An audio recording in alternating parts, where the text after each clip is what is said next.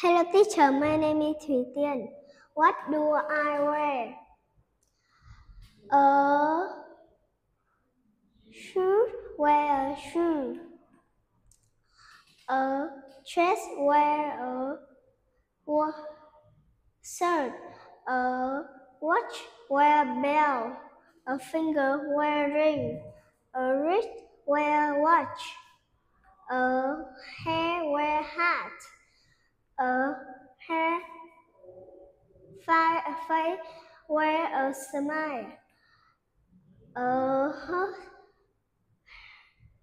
heart, wear a love. Goodbye, teacher.